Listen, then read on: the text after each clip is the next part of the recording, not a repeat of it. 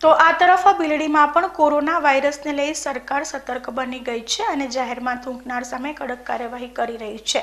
બિલડીમાં પણ epidemic disease act અઢાર સત્તાણું મુજબ જાહેરમાં થૂંકનાર ત્રણ શખ્સો સામે પાંચસો પાંચસો રૂપિયાનો દંડ ફટકારીને પંદરસો રૂપિયાની વસૂલાત કરવામાં આવી છે.